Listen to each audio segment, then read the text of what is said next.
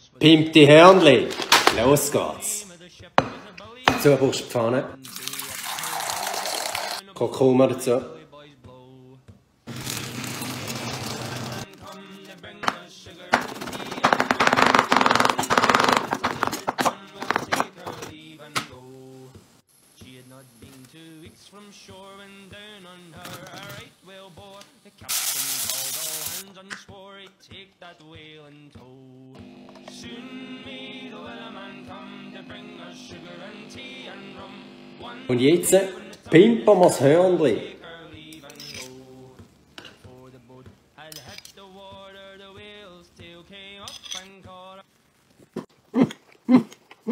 Mm-hmm.